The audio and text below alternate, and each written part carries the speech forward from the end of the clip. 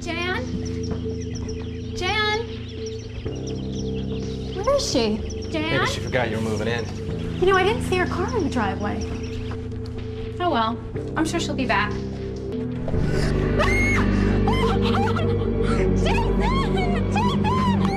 The random and senseless murder of Jeanette Collins sent a wave of fear and outrage through the peaceful seaside community of Pacific Beach, California. The investigation into her death would lead to a nationwide dragnet for a sexual predator, a heartless killer who perceived a woman's rejection as an invitation to murder. I'm Brian Dennehy, and this is Arrest and Trial. With a combined 35 years in law enforcement, San Diego homicide detective Richard Twing and investigator Bill Green have helped to put dozens of murderers and violent criminals behind bars. But their expertise was put to the ultimate test when a sex murderer began randomly preying on the innocent.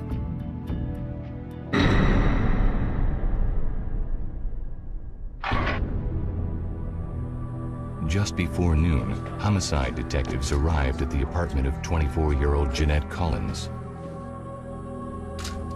We got there and we were uh, briefed by the patrol officers who originally dispatched, and they told us what they had found. Who discovered the body? Her two roommates, they're outside talking to the officer. One's moving in. The deceased lying in the closet, and what appeared to be drag marks on the carpeting. Uh, it appeared that she'd been killed on the bed and then placed in the closet. She had been uh, in that position where she was placed for some time. There was uh, postmortem lividity was evident. Collins, a part-time receptionist, had been strangled to death and then buried beneath a pile of dirty laundry. She was strangled uh, using a ligature. Uh, we believed it to be pantyhose. Crime scene technicians and investigators conducted an exhaustive search of the apartment, looking for any clue that might lead to Jeanette Cullen's killer. Well, the apartment was somewhat uh, in disarray. However, it wasn't really what we found at the apartment that was important to us. It was what we didn't find. We didn't find her wallet and her car keys or any identification. Some of her closest personal property just wasn't there. It wasn't long before the missing items produced a critical break in the case. We knew that she'd been uh, killed on the 12th. Her bank card had been used at an ATM on the 13th. We contacted the bank and found that they had the transaction on video from that particular ATM.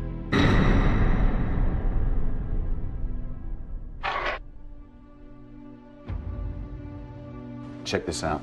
There was a night when the suspect was waiting for the transaction to be processed. He lit a cigarette, and the match was as good as a flashbulb. Armed with a photo from the ATM, Detective Twing re-interviewed Jeanette Cullen's roommate. She immediately recognized the man as someone who had been hounding Jeanette for a date. Dean Carter. He's this total creep who kept coming around and bothering Jeanette. She couldn't even stand the guy. She said he started frequenting some of the local bars where young uh, single females like to frequent. And it was there at one of these bars in Pacific Beach that he met our victim. The roommate told detectives that Dean Carter had made a surprise appearance outside the apartment just moments before she discovered Jeanette Cullen's body. Carter had been to the apartment, had showed up unexpectedly. Hey, you seen Jeanette? No, Dean, I haven't seen her. Why? Well, we had a date last night. She never showed up. Well, I don't know what to tell you. Well, if you see her, tell her I don't like being stood up. The roommate provided a detailed description of the car Carter was driving and its vanity license plate, Phantom Z. A routine check of the plates led to a disturbing discovery. Behind me is the apartment complex that two days ago was the scene of a gruesome double murder that has residents in this quiet Culver City neighborhood terrified. Roommates Susan Knoll and Jillette Mills were found raped and strangled. The killer left his victims stacked neatly on top of one another in a hallway closet. According to police sources, the killer may be driving one of the victims' cars, a 280Z. After discovering the ladies were all deceased in the same manner, we could clearly see that Dean Carter was a vicious sexual predator. A sadistic serial killer was on the loose. Time was of the essence. An Interstate All Points Bulletin was issued. Teletype I put together listed a very good description of the vehicle and uh, his name and approximate age and height and weight, and that we wanted him detained for questioning. Detectives thoroughly investigated every possible lead, hoping that they could find Dean Philip Carter before he killed again. Despite an all points bulletin and nationwide dragnet, Dean Philip Carter had managed to elude capture. But Carter's luck was about to run out. As their investigation widened, detectives learned that the murders of Jeanette Collins, Jillette Mills, and Susan Knoll were just the tip of the iceberg. Carter was also wanted in connection with two other attacks, a sadistic five and a half hour rape of a Ventura woman and a brutal sexual assault of a San Diego housewife. We discovered that uh, Mr. Carter had been a, a very busy man in a, in a five-day period. Investigators had no doubt that Dean Philip Carter would kill again. The only question was when and where.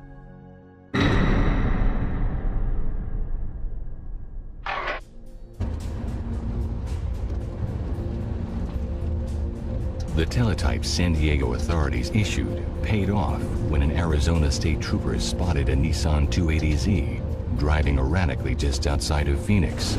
I've got a 280Z. I'm pulling over California plates, Phantom Z, PHN, THMZ.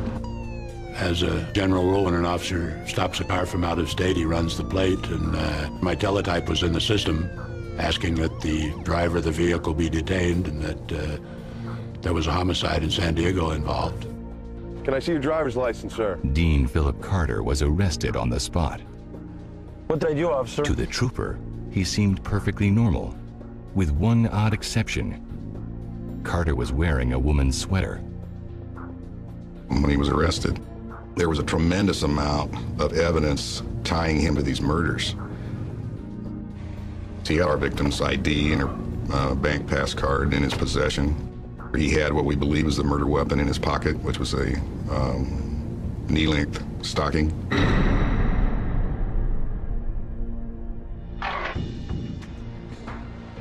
A search of the stolen 280Z uncovered even more incriminating evidence.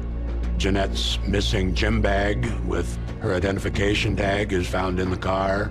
A piece of paper with the name of Sue Knoll on it. But several of the items found in the car did not belong to any of the three murder victims. In the glove compartment, police found a checkbook belonging to a West Los Angeles woman named Bonnie Guthrie. In the back seat, they found a set of car keys that were traced to Tak Chum Kim, an Oakland computer programmer. When investigators ran the two names through the police database, their worst fears were realized. Both women were dead, victims of strangulation. Dean Philip Carter had struck again. The body count now stood at five.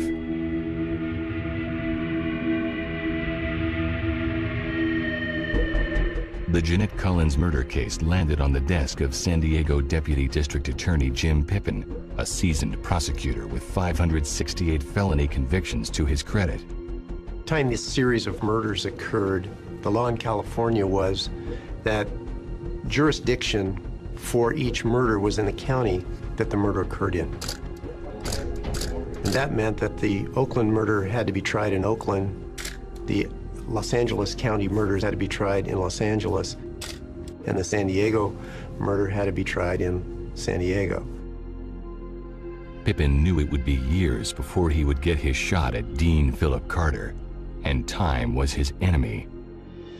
Investigators gathered signed statements from witnesses to ensure that their case against Carter would stand the test of time. We went out and re-interviewed every single witness that the police had interviewed. And we also wanted to make a personal contact with each witness, so when the phone calls came, maybe years later, they would know who they were talking to. And as it turned out, that was a huge help for us because it was uh, six and a half years later before we got a chance to put him on trial. After a seemingly endless number of procedural delays and gratuitous legal maneuvers, serial killer Dean Philip Carter was finally going to stand trial before a jury.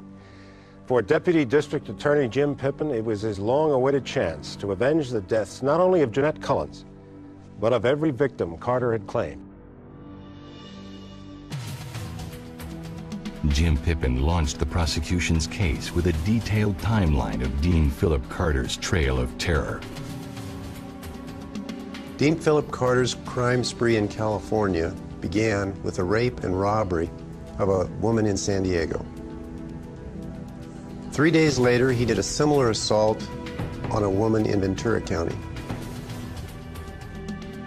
A few days after that, he showed up at Miss Kim's place of residence where he strangled her to death. The very next day, he went to Culver City, murdered Jillette Mills and Susan Knoll. The very next afternoon, he went to West Los Angeles and murdered Bonnie Guthrie. And the very next evening, he came to San Diego and murdered Janet Collins. He committed five murders in four separate counties over a four-day time period. And I don't know that that's ever happened before.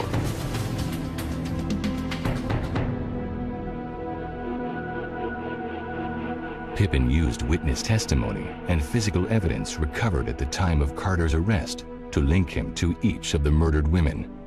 He took from every one of his murder victims some personal property.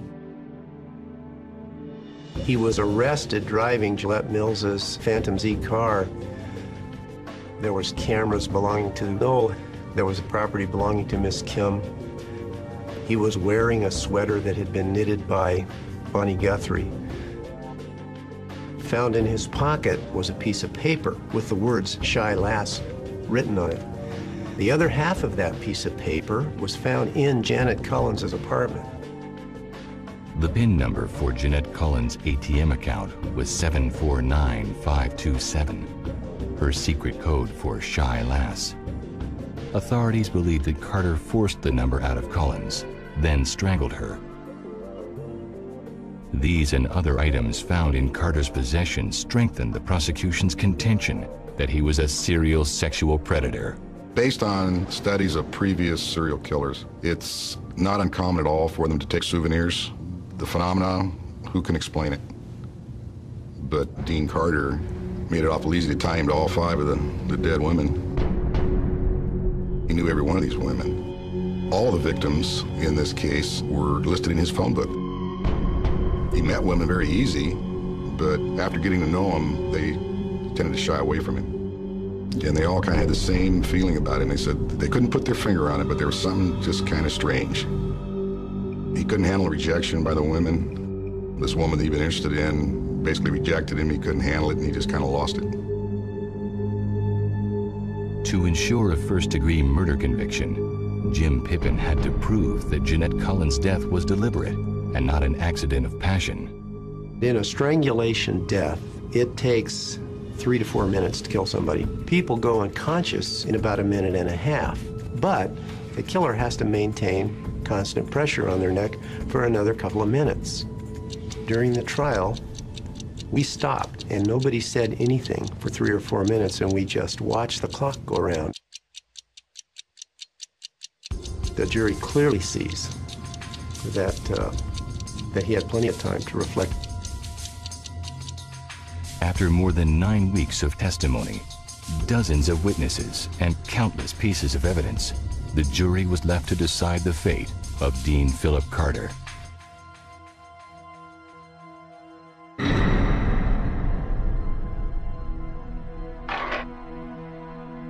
On August 10th, Dean Philip Carter was convicted of the first-degree murder of Jeanette Collins. Jim Pippin, speaking on behalf of all of Carter's victims and their families, stood before the 12 jurors and argued for death. The victims were selected, not randomly, all nice young girls who rejected him. As jurors sit through these things and, and the system asks them to decide whether or not they should vote to execute somebody. I mean, that's a big decision that we ask ordinary folks from the community to come, come in and make. The jury deliberated for only three hours.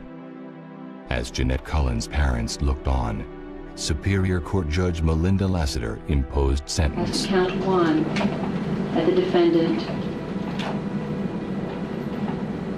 be sentenced to death. She has to swallow before she can say death. She'd never done that. She'd never imposed death penalty before on anybody. And that was a pretty dramatic moment in the courtroom. There was some silence after that.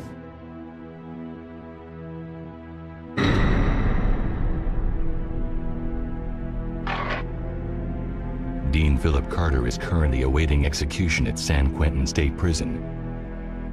For the investigators and prosecutors, his fate was the only just verdict. His victims were all just purely innocent people, not even the prime of their life yet. They were all in their early 20s and they had their whole lives ahead of them. He caused a lot of grief from Oakland to San Diego, and um, I think he's got exactly what he deserved. It's a strange feeling that, that prosecutors have after um, going through a trial like this and seeing the damage somebody's done to, to other people and the families. And you, I mean, what you're trying to do is hold them responsible and, and get the system to impose the appropriate punishment. I mean, there's a sense of satisfaction that you did all you could within the rules to make it right, but there aren't any winners in these kinds of proceedings.